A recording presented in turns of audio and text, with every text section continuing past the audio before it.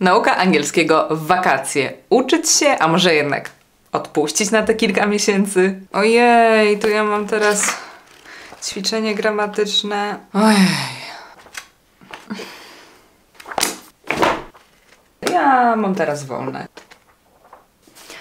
Bardzo często nauka angielskiego kojarzy nam się z takim siedzeniem nad podręcznikiem, uzupełnianiem luk y, w ćwiczeniach gramatycznych, nauką słownictwa, wypisywaniem tych słówek, taką typową nauką, taką jaką mamy w szkole. W dzisiejszym filmie chcę Ci pokazać, że są inne opcje nauki angielskiego i że do tematu możesz podejść zupełnie inaczej. A wakacje to jest najlepszy moment, aby właśnie w inny sposób zacząć uczyć się angielskiego, bo nie mamy tej presji jakiejś, e, jakichś kursów, jakiejś nauki w szkole nad sobą.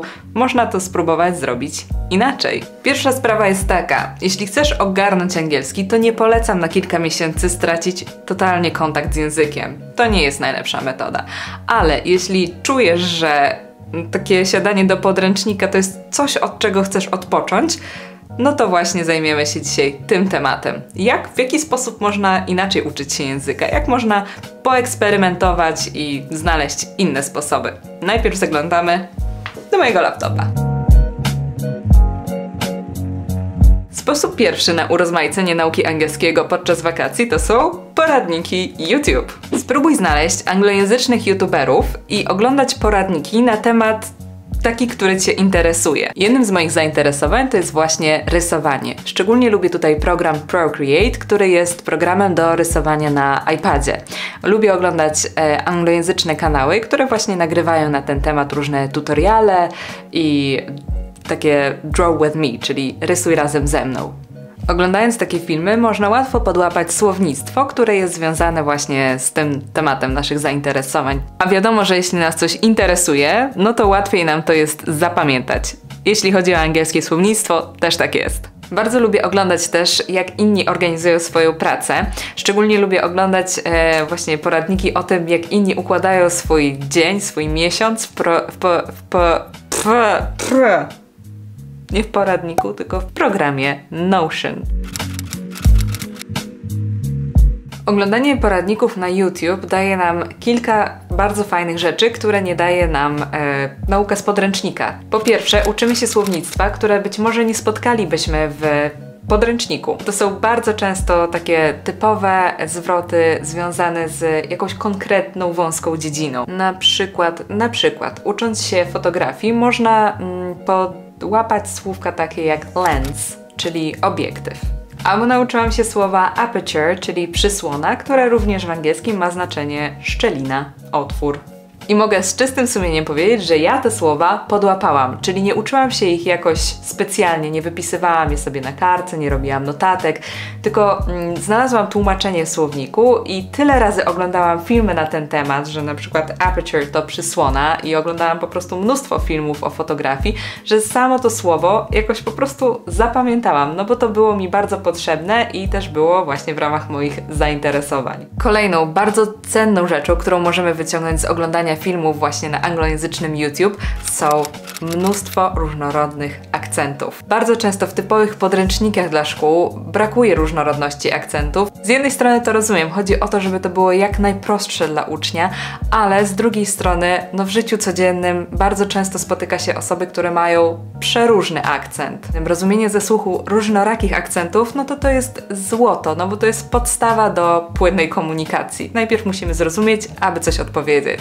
Hmm, a co w przypadku, gdy nie masz pomysłu, co byś mógł oglądać na angielskim YouTubie? W takim wypadku polecam Ci oglądanie vlogów. Jest mnóstwo ciekawych vlogów na YouTube. Czy to są vlogi typu My Morning Routine vlog, czy są e, jakieś vlogi z wyjazdu w miejsce, które chciałbyś pojechać, czy inne na przykład Spend Day With Me. Jest naprawdę mnóstwo ciekawych, ciekawych vlogów, w których można wyciągnąć mnóstwo inspiracji i słownictwa a przede wszystkim się osłuchać, aby nie stracić kontaktu z angielskim. Drugi sposób, w jaki możesz zainspirować się nauką angielskiego w wakacje bez podręczników, to jest czytanie książek po angielsku. Nie chodzi tutaj o taki sposób, w którym ty masz czytankę, w której musisz uzupełnić luki z jakimiś słówkami. Nie, nie o to tu chodzi.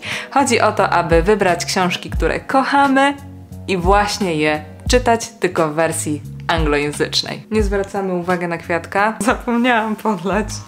Ja na przykład książki, które bardzo lubię, zawsze mam w dwóch wydaniach, w polskim i w angielskim. Ja na przykład mam tutaj serię książek Reginy Brett, którą bardzo lubię i ona była pewnego czasu w Polsce bardzo popularna i gdy czytam te książki, to nie mam wrażenia, że uczę się angielskiego, ja po prostu czytam dla przyjemności. Oczywiście trzeba wybrać takie książki, które są dla nas na odpowiednim poziomie językowym, abyśmy nie czuli, że to jest ciężka przeprawa, to ma być przyjemność. Jeśli chcesz zacząć czytać książki w oryginale po angielsku, a jesteś na podstawowym poziomie, to polecam Ci książki dla dzieci albo książki dla młodych dorosłych, które właśnie w literaturze opisuje się jako young adults.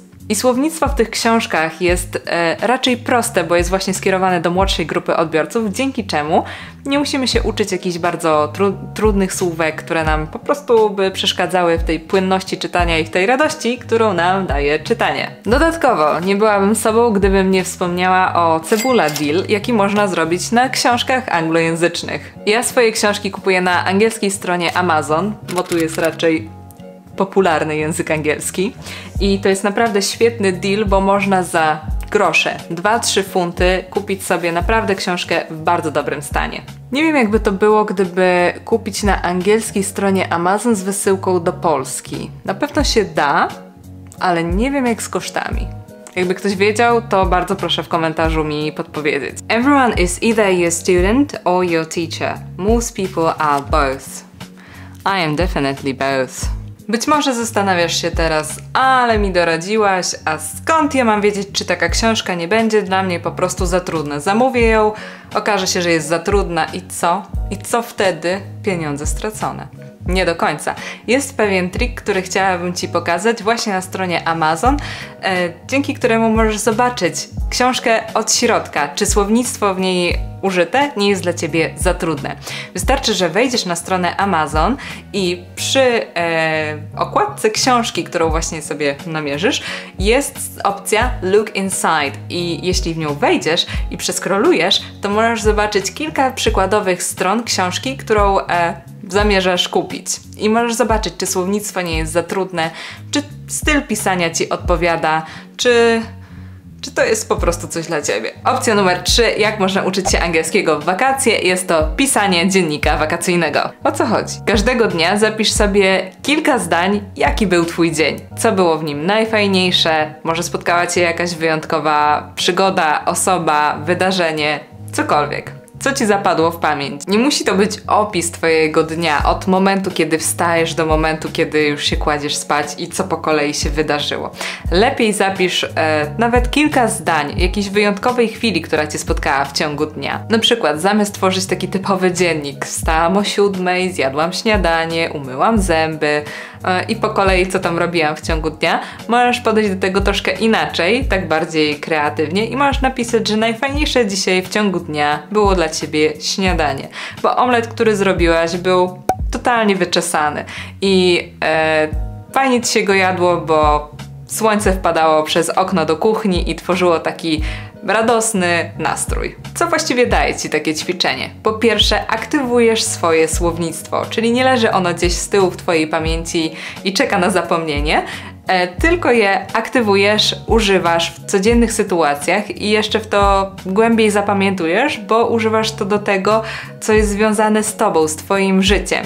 I to, co jest właśnie z nami związane, zapamiętujemy głębiej. A drugi punkt jest taki, że robisz sobie fenomenalną pamiątkę z wakacji. Ja jak byłam nastolatką, to pisałam taki dziennik i to było naprawdę nie doceniałam tego w tamtym momencie, ale jak patrzę na to z perspektywy czasu, to mam świetną pamiątkę i to też było takie bardzo ciekawe ćwiczenie kreatywne i bardzo mi pomogło rozwinąć się w umiejętności pisania. To były moje trzy sposoby na to, jak urozmaicić naukę angielskiego w wakacje. Jeśli chcesz, bardzo będzie mi miło, jeśli podzielisz się swoim sposobem w komentarzu.